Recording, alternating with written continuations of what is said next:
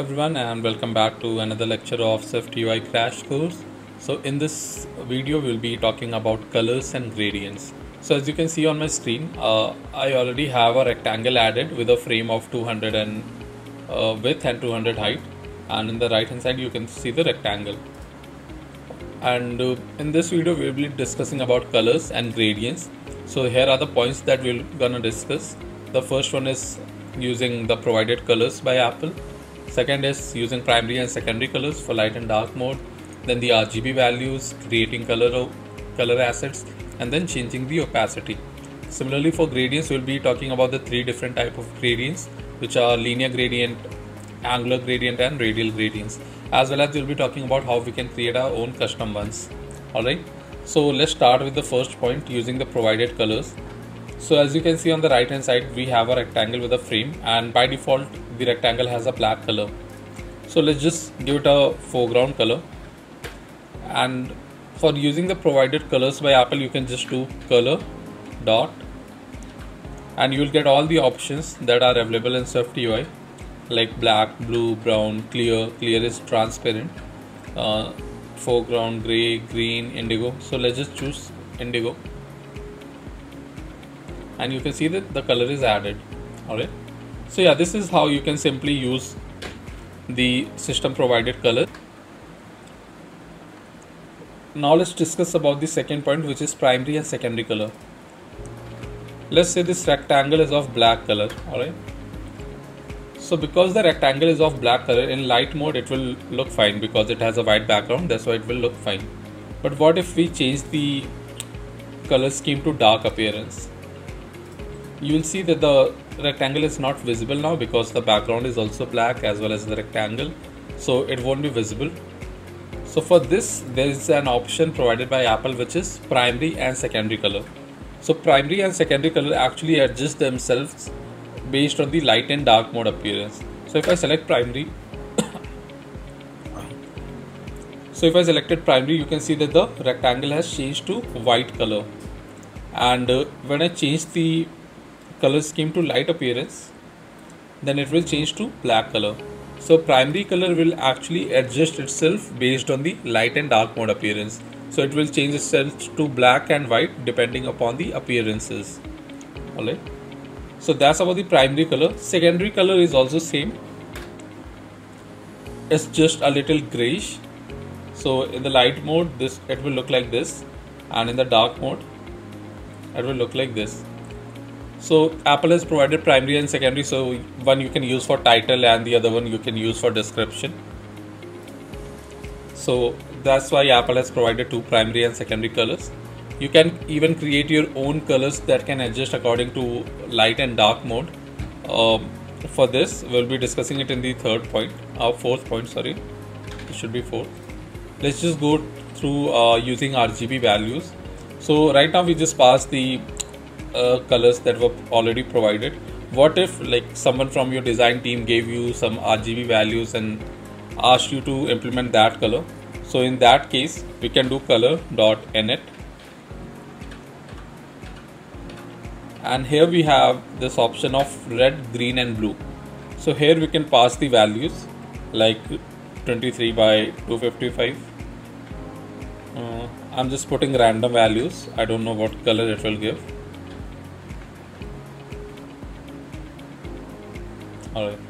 so you can pass the RGB values here and create your color. So that's one way like if your designer team has given you some color you can just get the RGB value and use that in your project. And there is one uh, RGB slider also available. Digit color picker I guess.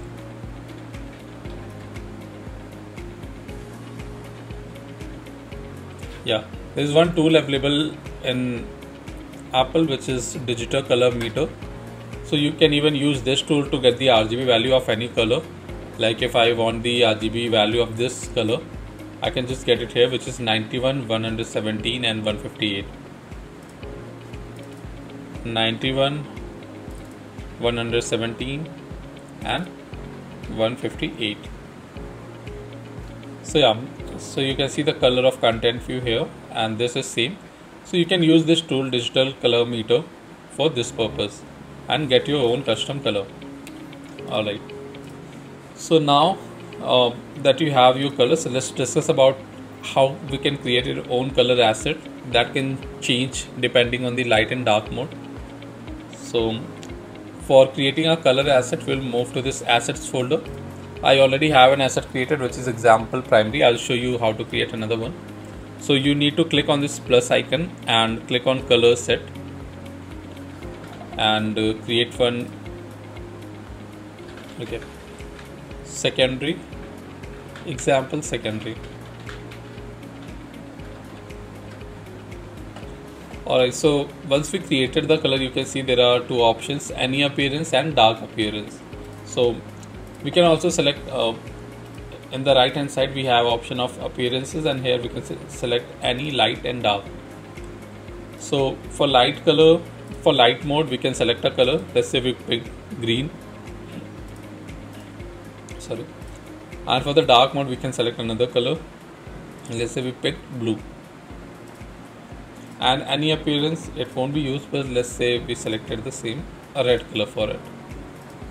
Alright so we have an example secondary color so for light mode it will show green color. For dark mode it will show this bluish color. Right? So let's go here. And here we can directly use those assets by string passing the name of the asset which in our case is example secondary. So you can see that in the light mode we have a green color and for the dark mode the color changes to blue.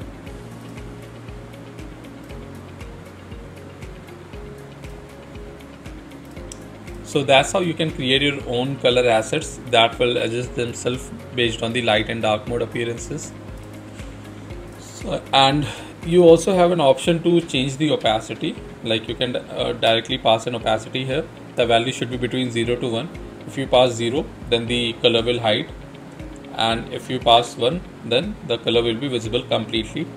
And you can pass any value between 0 to 1 to make it a little transparent or just 50% visible. So you can play with these opacity values and get the desired results. Alright so that's it about the colors. I think we have covered it all. If you have any confusion then you can just comment and ask let's now move to gradients. So we will remove this foreground color from here. And also change this appearance to light. Alright. Now if we talk about gradients then we have three options available which is linear gradient angular gradient and radial gradients. So let's see how we can use linear gradient.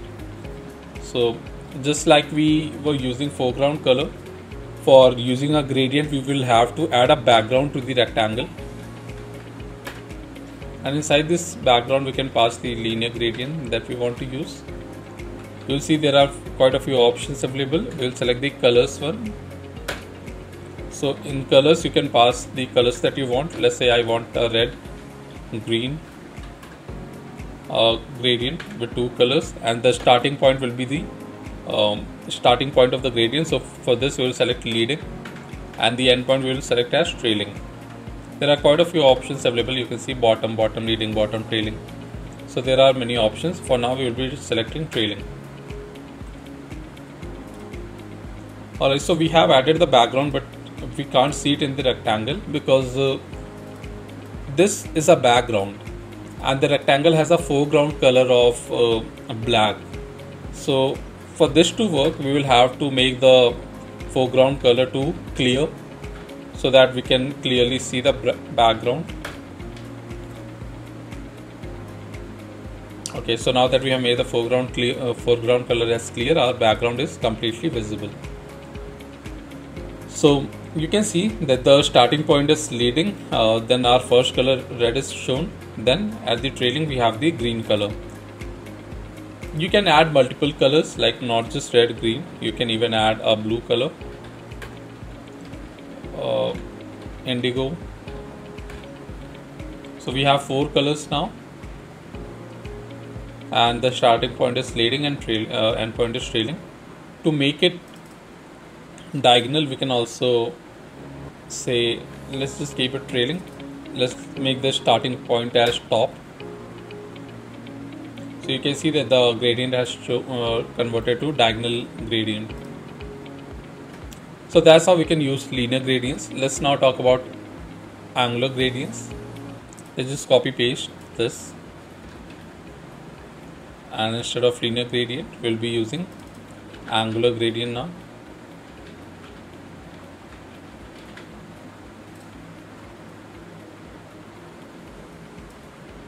angular gradient expects different values so in angular gradients we need to provide the center point not the starting and lead or end point. So for the colors we will just use the same values. And for the center point we'll just keep the center as the center. Alright so you can see that uh, we have got a nice gradient and the center point is center and we have added these four colors. You can also give start angle and end angle to it.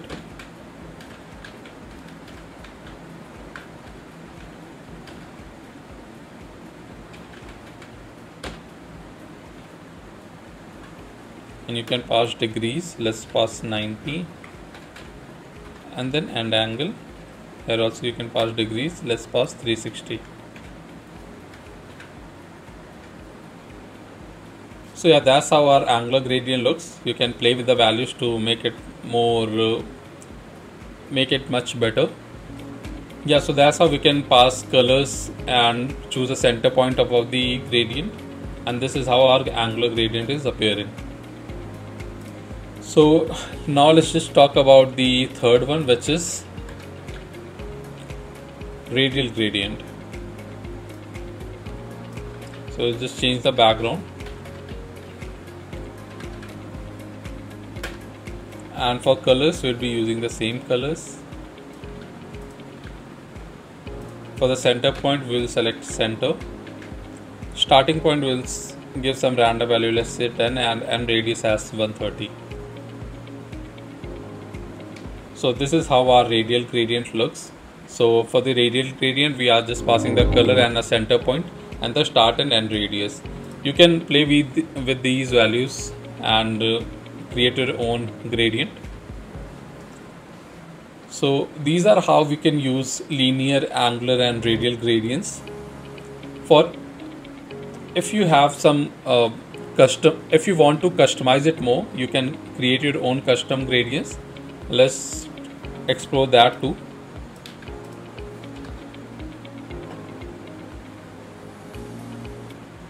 So instead of creating this radial gradient let's create a linear gradient and add a stop to it. So for a stops we will select gradient dot stops.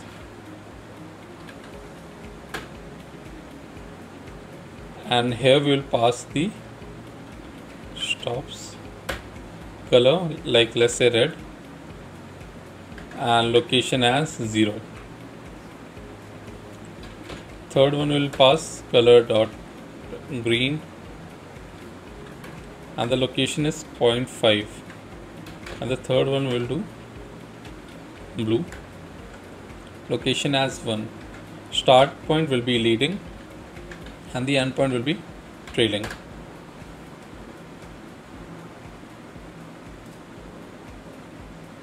Cannot convert value of type gradient to expected argument type gradient dot stop. Okay so here instead of stops we will select gradient